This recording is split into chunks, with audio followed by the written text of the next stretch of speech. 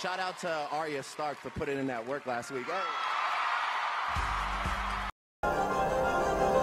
Yeah!